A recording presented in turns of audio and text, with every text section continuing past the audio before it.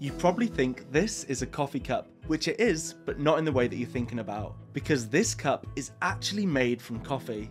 We all know single use coffee cups are bad for the planet, so Ricardo and Daniela from Colombia came up with a way to make cups from old coffee grounds. After collecting used grounds from local cafes, these grounds are dried, mixed with natural binders, and moulded into durable heat resistant cups, which they called coffee crace. This doesn't just give the grounds a second life, but it also means that every cup smells of coffee too and once their new life as a cup is over, it can still be returned to the earth and composted as they're made entirely from plants. The world drinks more and more coffee every year, but the grounds often end up in landfill where they produce methane, which causes up to 80 times more warming in our atmosphere than CO2. So by making sure coffee grounds are properly composted or locked away in other materials like these cups, we can help reduce the massive environmental impact of single-use cups and coffee grounds.